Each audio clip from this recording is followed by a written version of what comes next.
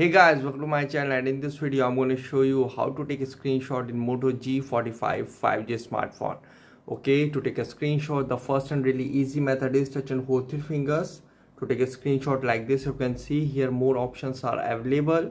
Simply touch and hold three fingers like this to take a screenshot really quickly in Moto G45 5G smartphone. You can see this is the really easy method. Touch and hold three fingers like this to take a screenshot really quickly and if we press the volume down and power button together it will also take the screenshot in moto g45 5g smartphone you can see just press and hold.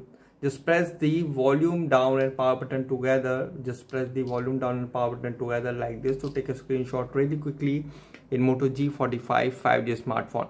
And if you want to take a long screenshot i will show you how to take it. So now here touch and hold three fingers. And now here you can see scroll down icon tap on it and you can see it is auto taking a screenshot.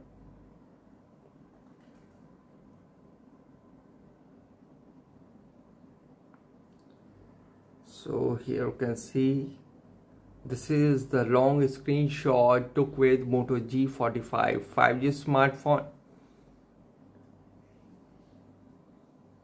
So guys, this is the method to take a screenshot in Moto G45 5G smartphone easily. Guys, thanks for watching. If you have any query to this video, let me know in comment section below.